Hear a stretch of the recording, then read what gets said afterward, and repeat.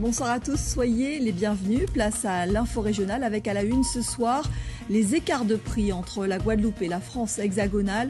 La vie reste plus chère dans notre archipel. La différence est encore plus marquée dans le secteur de l'alimentation avec des prix qui sont 42% plus élevés selon l'INSEE.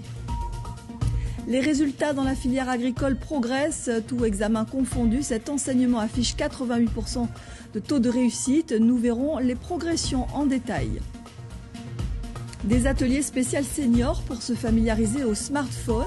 Pendant les vacances, l'association Solutions Vertes reconduit l'initiative. Les personnes âgées et retraitées s'entraînent à utiliser ces téléphones pour rester connectés et autonomes. Enfin, une expo à aller voir à Petit-Bourg, celle d'un artiste autodidacte, André Edinval Sidambarum, qui propose des tableaux abstraits jusqu'au 30 juillet à la galerie Émergence Art. Ce n'est pas vraiment une surprise. Consommer en Guadeloupe coûte clairement plus cher par rapport à l'Hexagone. 16% en moyenne, c'est ce que révèle l'enquête publiée par l'INSEE. Elle a été présentée ce matin lors d'une conférence de presse au siège de l'Institut à Bémao. Tous les secteurs sont concernés par ces écarts de prix, mais c'est encore et toujours le poste alimentation qui pèse le plus lourd dans la balance. Les prix sont 40% plus élevés. On fait le point avec Ludivine Guillaume-Léoulac, Canel Louisie Gabriel et Ludovic Guédu. L'écart de prix entre l'Hexagone et la Guadeloupe, un sujet qui ne cesse d'animer les réseaux sociaux. Sur ces vidéos, des vacanciers choqués par le coût élevé de certains produits. Oh my god, deux tranches de jambon, 3,15€. Oui, par contre, le fromage, il est méga cher, 5 euros, 7 euros. Je vais aller voir les yaourts, j'adore les yaourts, on va voir si c'est cher. Ah oui, c'est plus de 3 euros, nous, chez nous, c'est dans les 1 euro. La vie chère en Guadeloupe, une réalité. L'écart de prix s'est d'ailleurs accentué entre 2015 et 2022 selon l'INSEE. Plus 16% en moyenne par rapport à l'Hexagone. Dans cet écart, il faut voir plusieurs choses. Déjà, il y a une marge d'incertitude de 1,5 et aussi il y, a des, il y a des produits qui sont montés en gamme. Du coup, il y a des écarts de prix qui se font sur des produits qui sont de meilleure qualité et qui expliquent en partie cet écart de prix. Des produits au prix plus élevé dans tous les secteurs, avec en tête l'alimentation qui pèse très lourd dans la balance. Se nourrir coûte en effet bien plus cher en Guadeloupe que dans l'Hexagone, plus 42%. Au début, quand on achetait 50 euros de course, on avait un chariot qui était rempli. Maintenant, avec, un, avec 50 euros, on n'a même pas un petit cabas. Donc, euh, c'est vraiment désolant. Hein. Quand je compare par exemple euh, le fromage râpé, le beurre, tout ça, ça, a beaucoup augmenté. Oui. Je vais régulièrement voir mon fils sur Perpignan. Quand je compare avec euh, les prix d'ici, euh, je trouve que c'est chaud. Donc j'ai dû ramener des choses en venant. C'est très très très cher. Là, je viens d'acheter des fruits, mais c'est 4,85 le kilo. c'est quand même rédhibitoire. C'est principalement, principalement lié à la viande, aux produits laitiers et à l'eau. Ces trois produits-là pèsent pour un tiers de la consommation de l'ensemble des produits alimentaires. Les coûts liés au domaine de la communication sont également plus onéreux que dans l'Hexagone l'écart atteindrait les 36%. Avant, j'étais chez un opérateur et euh, ben, par exemple, peut-être deux semaines après, ben, j'avais plus euh, d'Internet. Mais maintenant, je suis un autre opérateur, ça va, mais c'est cher pour moi. Surtout avec ce qu'on a là maintenant, euh, par exemple, pour 30 euros 100 gigas, alors qu'en métropole, vous avez pour 9 euros, vous avez des 150 gigas. Idem pour les dépenses de loisirs et de culture ou encore pour la santé. A l'inverse, les écarts de prix sont moins importants pour le logement et les transports. Les produits importés ne sont pas les seuls à être euh, les plus chers. La production locale aussi affiche des prix en augmentation. Exemple, avec le maraîchage, on a relevé ce matin 6 euros le kilo de tomates. Les courgettes sont à 5 euros le kilo et il faut compter en moyenne 3 euros pour un sachet de laitue. La politique à présent avec euh, ce nouveau report du comité interministériel des Outre-mer, initialement prévu le 12 juin, il vient d'être décalé pour la troisième fois. Le SIOM est censé faciliter l'avancement des grands chantiers dans nos territoires, mais le gouvernement a pris la décision de déplacer le rendez-vous. C'est bien sûr une déception pour euh, les élus. Écoutons la réaction de Guy Losbar, le président du conseil départemental. Cela fait plusieurs reports tout ce que j'espère, c'est que cela permettra qu'on puisse mieux répondre à nos préconisations, à nos attentes. Mais vous savez, cela me confirme et me conforte aussi dans l'idée qu'il faut une plus grande domiciliation du pouvoir au niveau donc, de, la Guadeloupe. que certaines compétences puissent être exercées, que nos réalités soient, soient prises en considération, de manière à ce qu'on ne soit pas obligé à chaque pas d'avoir l'autorisation ou encore d'interpeller le gouvernement. Des propos qui tranchent avec l'euphorie de la journée de congrès le 7 juin dernier à Basse-Terre. Les élus parlaient alors de stratégie, de développement économique et d'évolution institutionnelle. Ils étaient alors dans l'attente d'un SIOM qui tarde à venir. Alex Robin. C'est un conseil qui renie l'ensemble des ministres. Ils vont parler que des politiques publiques applicable en Outre-mer. Ça va être présidé par le chef de l'État. Nous n'en savons pas plus à la date d'aujourd'hui. Et dans ce cadre, le gouvernement nous a demandé de faire des propositions. J'invite euh, chaque Guadeloupéen à pouvoir déjà s'informer, se renseigner, mais aussi pouvoir faire des observations, des amendements ou les compléter dans le cadre des échanges que nous allons pouvoir maintenir. Il faut aller vers le peuple, les collectivités majeures, les collectivités des communes et aussi les EPCI qu'on puisse aller voir le peuple, les écouter, faire un tour, et comme cela, on pourra faire une synthèse qu'on pourra cautionner et permettre précisément l'évolution, je dirais, de, ces, de, ces, je dirais, de ces propositions que nous ferons au niveau de l'État. On est aujourd'hui un peuple majeur, on a le potentiel pour écrire notre histoire et il suffit de la volonté, de l'audace. Je ne l'ai pas trop ressenti et j'ai l'impression qu'on se, se répète et qu'il faut aller. Et certainement, euh, Monsieur le Président du Conseil départemental m'a rassuré en ce sens, qui, dans une seconde étape, à partir d'aujourd'hui jusqu'à la fin d'année, de présenter un corpus où nous pourrons très clairement définir les priorités et aussi dire ce que nous voulons en termes de compétences, mais aussi de ressources. Et aucune date n'a été fixée pour la tenue euh, du euh, prochain SIOM. L'éducation à présent avec un gros plan sur l'enseignement agricole et les résultats en petite progression. De façon générale, c'est deux points de plus par rapport à l'an dernier avec un taux de réussite de 88%. Les BTS n'ont pas le niveau espéré, mais ils enregistrent 8 points de plus malgré tout. Le détail avec Alexandre Ouda. Pour cette année scolaire 2022-2023, 1087 élèves, étudiants et apprentis étaient inscrits en enseignement agricole. Et comme l'année dernière, la filière agricole continue d'améliorer ses résultats à l'issue des examens de fin d'année. Sur 257 apprenants inscrits aux examens, 234 étaient présents pour 204 élèves et apprentis ayant obtenu un diplôme de l'enseignement agricole. Ce qui représente un taux de réussite global de 88% en y intégrant les candidats au bac général. Des résultats bons et encourageants dans leur ensemble selon la préfecture, malgré un niveau de réussite pas encore au niveau espéré concernant le BTSA, le brevet de technicien supérieur agricole qui affiche 63%. Les autres diplômes maintiennent eux leur taux de réussite de l'exercice précédent. Des diplômes parfois peu connus du grand public et qui peuvent ouvrir des portes menant une multitude de corps de métiers, allant de l'aménagement paysager à l'agro-transformation ou encore l'environnement. Les smartphones font partie de notre quotidien. Naviguer sur le web ou utiliser des applications, ça peut paraître très simple, mais pour les personnes âgées, c'est loin d'être évident. Des ateliers sont proposés durant les vacances. Objectif, s'initier, s'entraîner et gagner en autonomie. Le reportage de Bruno Pensiovillon et Christian Danca. Et 4G, c'est la quatrième génération du réseau Internet. Donc, il est beaucoup plus rapide. Plus qu'un téléphone, le smartphone connecté est en évolution constante. Nos aînés ont besoin d'être accompagnés pour une véritable utilisation de cet outil de communication. Je viens, c'est pour essayer de comprendre les, surtout les, données mobiles, parce que là, c'est ça qui me, qui me handicape un petit peu, parce que je n'arrive pas à tout comprendre les mots qui sont écrits. C'est compliqué d'utiliser aujourd'hui un, téléphone comme le vôtre Oui, pour certaines personnes. Parce qu'elles ne sont pas adaptées à ça. Et moi, j'ai pas connu ça, moi, dans mon temps. et je viens de trouver quelque chose que je ne savais pas. Euh, c'est ça, mes fichiers. Je cherchais mes, mes images, je viens de les trouver tous. Pour cet atelier de 4 heures, organisé par l'association Solutions Vertes, 27 personnes âgées étaient présentes, assidues, très appliquées à découvrir, à apprendre les fonctionnalités de base en matière de smartphone. Ils veulent être rassurés, ils veulent avoir confiance. Et c'est après que cette étape-là soit passée qu'ils arrivent à se dire ça, c'est ça que j'ai pas compris, c'est ce que je voudrais comprendre. Donc, il faut d'abord briser la glace, hein, on va dire ça comme ça, pour qu'ils arrivent à adhérer euh, et à, approfondir et à aller vers des compétences un peu plus élevées.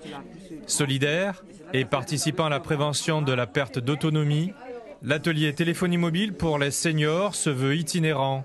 Il est mis en place selon un calendrier défini avec les 32 communes du département. En bref, le SMGEAG informe les usagers du secteur de la plaine à Trois-Rivières de ne pas consommer l'eau en raison d'une non-conformité microbiologique signalée par euh, l'Agence régionale de santé. En attendant de nouveaux prélèvements, l'eau ne doit pas être consommée pour la boisson, la préparation des aliments, le brossage des dents et les douches. Dans la Caraïbe, c'était il y a deux ans, jour pour jour, des milliers de Cubains descendaient dans la rue pour dénoncer les pénuries alimentaires, le manque de médicaments et les coupures d'électricité. 300 personnes avaient été condamnées. Deux ans plus tard, que reste-t-il de ce mouvement spontané populaire? On fait le bilan avec Kelly Babo. C'était le 11 juillet 2021. Les rues d'une cinquantaine de villes cubaines bondées de manifestants du jamais vu en 62 ans de régime. Excédés par les pénuries alimentaires, l'inflation, le manque de médicaments, les nombreuses coupures d'électricité et les emprisonnements d'opposants politiques, les Cubains avaient décidé ce jour-là de manifester spontanément. Mais à quel prix? Des centaines de personnes ont été condamnées à de lourdes peines de prison pour délits divers selon le procureur général. Mais deux ans plus tard, les voix qui critiquaient le gouvernement ne se sont pas totalement tues, et encore moins celles des proches de manifestants emprisonnés. À l'image de Martha Elisette, maman de manifestants toujours derrière les barreaux. Au bout du fil, Martha discute avec l'un de ses fils emprisonnés. Nous sommes forts, nous sommes conscients et fiers de tout ce que nous avons fait. Au lendemain des manifestations, la police est venue arrêter les deux fils de Martha, condamnés à 8 et 6 ans de prison pour agression, outrage et trouble à l'ordre public. Ils ont peut-être commis le plus grand crime, celui de demander la liberté. Jorge et Nadir sont simplement sortis pour protester comme des centaines et des milliers de personnes ici, à San José de las Lajas, où rien ne s'est passé. Lisette est devenue elle aussi une infatigable militante pour la libération de son fils, emprisonné injustement selon sa mère pour avoir aidé à réduire en morceaux une affiche représentant Fidel Castro. La seule chose que nous faisons, c'est demander la liberté pour les prisonniers politiques, demander la liberté pour nos proches. Certaines familles ont peur, peur de s'unir, ce n'est rien d'autre que de la peur.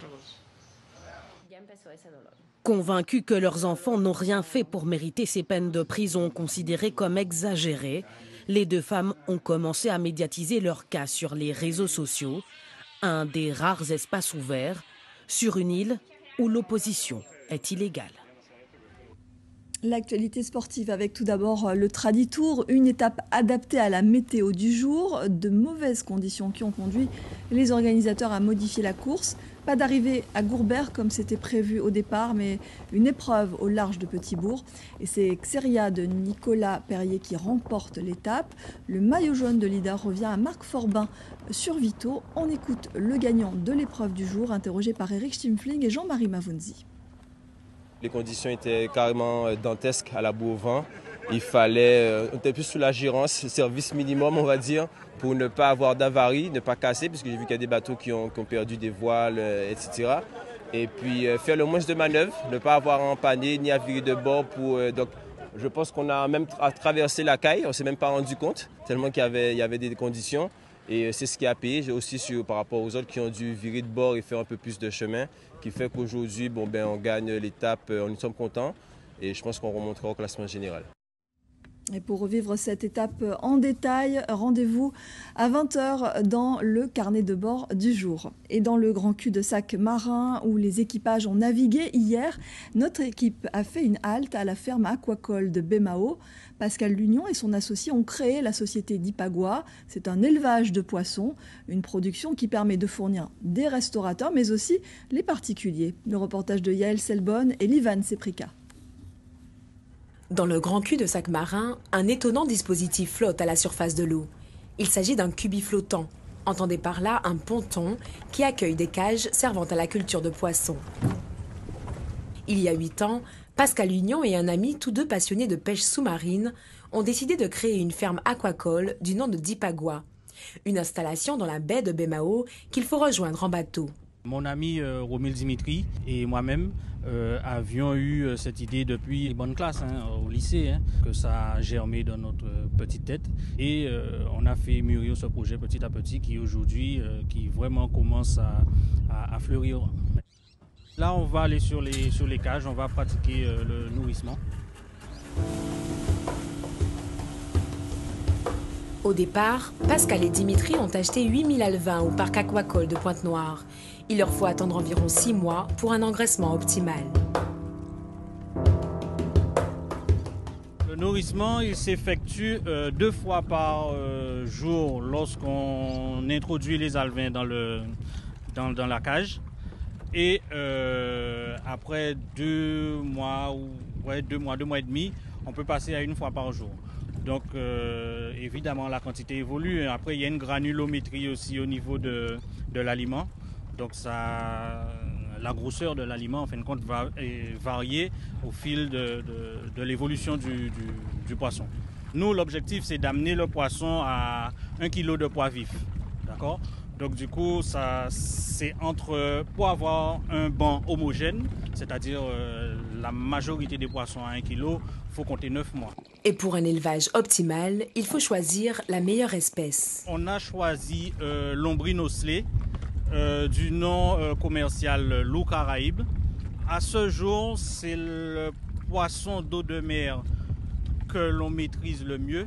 Au milieu des années 90, des travaux de recherche ont conduit à la maîtrise de son cycle biologique, ce qui en fait un poisson plus adapté à l'élevage, un domaine encore peu pratiqué en Guadeloupe. Nous sommes déjà en retard sur ce qui se passe, rien que dans la Caraïbe. D'accord? Puisqu'on a les. Lorsqu'on regarde les îles Turquie, Caïcos, la Jamaïque, euh, ces îles qui font déjà, euh, qui pratiquent plutôt l'élevage de, l'ambi, la conque de l'ambi. Donc, euh, et ils ont une forte importation, notamment en Guadeloupe. Donc, on a de quoi faire pour ce métier d'avenir. L'aquaculture, un métier d'avenir qui ouvre sur des perspectives d'autonomie alimentaire et de développement durable. Allez, on se rend en Martinique pour la quatrième étape du Tour cycliste. 129 euh, km entre Le Robert et Sainte-Marie, sous la pluie en raison du passage d'une onde tropicale.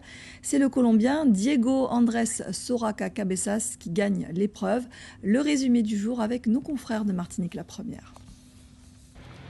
Guillaume Gaborieux, le maillot jaune du jour, est entouré de ses coéquipiers. À la faveur du plat, les sociétaires du team Energizer jouent la carte de la solidarité. En tête de course, c'est Damien Roussel de la Guadeloupe et Martin Deschartres de l'entente Huguenot-Byzantine qui mènent le train alors qu'on se dirige vers le sommet de Valat, l'épreuve de montagne de cette quatrième étape. En intercalé entre le groupe de tête et le peloton, trois hommes Castro Pulido de la PP, Raphaël Olivier Clémencio de la Suisse, Johan Gobin de la team Energizer. Le coéquipier du maillot jaune tente de ralentir celle du compagnon de route tandis que son leader se met en chasse afin de recoller au peloton devant lui. Au sommet, c'est Martin Deschâtres du team Haguenau-Byzantine qui est le premier à basculer vers le Vauclin. Les deux hommes s'offrent alors une descente à tombeau ouvert, et ce, malgré une chaussée imbibée d'eau. C'est d'ailleurs ce contexte qui provoque la crevaison du Guadeloupéen Damien Ursel, obligé de lever le pied et de laisser s'en aller Martin Deschâtres. À ce moment, la bonne affaire est pour Martin de Châtre. Le pensionnaire de l'équipe Haguenau-Byzantine est à 1 minute 30 d'avance sur le peloton et récupère virtuellement le maillot jaune. Mais entre Lamentin et Sainte-Marie, tout peut arriver, et notamment le retour de Diego Soracabessa. Le grimpeur colombien développe toute sa science et se met en quête de l'homme de tête. Dans un festival de coups de pédale, le Colombien reprend la tête de course. Sous une pluie battante, Diego Soracabezas de la pédale pilotine remporte la quatrième étape en 3 heures, 16 minutes et 25 secondes. Dylan Will de la sélection de la Guyane franchit la ligne 1 minute 22 plus tard et récupère le maillot jaune de leader. Sachez que le premier Guadeloupéen est Damien Ursel, troisième au général à 1,21 du leader. On en vient à ce documentaire sur la vie et la carrière de Rudy Gobert. Ce documentaire a été présenté en avant-première à Paris il y a quelques jours. Rudy Gobert, numéro 27, est un film de 52 minutes qui retrace le parcours du jeune homme au début compliqué dans l'univers du basketball, sa relation avec son père guadeloupéen et avec euh, sa mère au soutien indéfectible. Présentation avec nos confrères d'Outre-mer Première. Pas de multiplex pour projeter son film, mais un cinéma d'art et d'essai parisien. Le joueur de NBA a choisi une ambiance plus intimiste pour dévoiler sa vie de basketteur professionnel. Une cinquantaine de personnes, impatientes de découvrir qui se cache derrière ce jeune homme réservé, devenu une star en 2013 en évoluant sur les prestigieux parquets américains.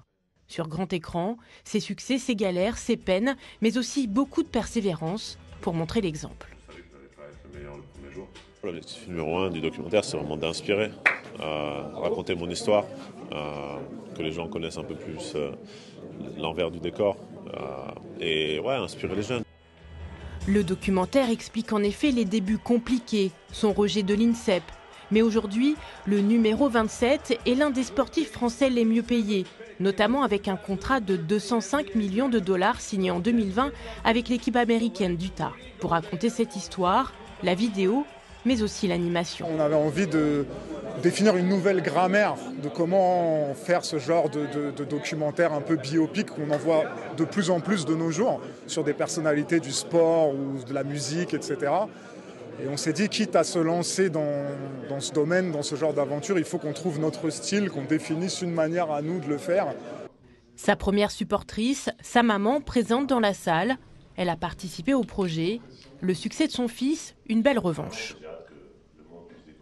Ça fait beaucoup d'émotions forcément, puisque finalement c'était bon, ben, c'est vraiment c'est la vraie, c'est vraiment ce qui s'est passé, son histoire vraiment réelle quoi. C'est aussi votre histoire? Oui, c'est la mienne aussi. Ah oui, ça c'est sûr, c'est la mienne. On a eu beaucoup de difficultés, mais disons que maintenant c'est tellement, c'est formidable. Le documentaire Rudy Gobert numéro 27 sera diffusé sur France 3 en décembre et sur les premières à partir de janvier 2024. De l'art pour terminer ce journal, André Dinval-Sidan-Barom présente sa première exposition itinéraire. L'artiste peintre autodidacte offre sa réflexion à travers des œuvres essentiellement abstraites. C'est à voir à la galerie Émergence Art de Vallombreuse à Petitbourg. Paul-Henri Scoll, Daniel Quérin. Ce n'est pas le résultat qui est l'essentiel dans la vie, mais le chemin et le sens qu'on lui donne. C'est par cette citation philosophique de Luc Ferry que l'artiste peintre autodidacte André Edeval Sinabarom s'explique sur sa démarche picturale qui lui est venue de façon spontanée à intenter de son parcours de vie. Il nous précise qu'il s'adonne à l'art plastique il y a moins de 5 ans alors qu'un chevalet offert par des amis attendait paisiblement qu'il se décide à empoigner les couleurs. Je suis un amoureux de l'art et euh, c'est la composition et la synthèse de tout un parcours de vie qui me permet de pouvoir m'exprimer et j'ai choisi l'abstrait pour pouvoir le faire. André Sidamarom est un homme de culture au sens pluridisciplinaire. Grand lecteur, amateur d'art et de philosophie, cet ingénieur informatique affirme être fréquenté par une grande liberté quand il manie la matière avec le pinceau et le couteau. Même ma profession, je suis ingénieur en informatique et ça demande des process dans mes journées. Elles sont rythmées par euh, des bonnes pratiques. Et là aussi, la peinture me permet de me libérer puisque c'est comme le yin et le yang. Le jour, ben, je travaille avec méthode, avec précision et lorsque je rentre dans ma peinture, ça me permet de me libérer et d'avoir une activité qui me donne une certaine liberté. Ce plasticien se déclare ouvert aux pratiques multiples et à l'expressionnisme abstrait. Il se laisse conduire parmi les gestes et les teintes pour exprimer le non manifesté, parfois même une forme de sacré. C'était au départ un exutoire qui est devenu une passion parce que ça me permet de me centrer entre l'esprit, le corps et l'âme. Et là aussi, mon, aspect, mon côté spirituel me permet de pouvoir développer davantage euh, des intérêts pour mieux vivre, mieux être. Et cette peinture, euh, c'est aussi l'expression qui permet de pouvoir partager. Pour lui, peindre, c'est du silence, une sérénité, se retrouver soi, dans son corps et dans son âme. Itinéraire, c'est le titre de cette lumineuse exposition à voir en ce moment et c'est aussi une invitation à observer de près l'étoile réunie à la galerie Emergence Art de Vallombreuse à Petit-Bourg. Avant de se quitter, je vous rappelle l'une des principales informations de ce journal. Il s'agit des écarts de prix entre la Guadeloupe et la France hexagonale. La vie reste toujours plus chère dans notre archipel. La différence est encore plus marquée dans le secteur de l'alimentation avec des prix qui sont 42% plus élevés selon l'INSEE. Dans quelques instants, le Traditour avec carnet de bord présenté par Yael Selbonne. Demain, l'info revient à 6h en radio avec Sébastien Gilles. Je vous retrouve à 19h30. Très belle soirée à tous. Merci.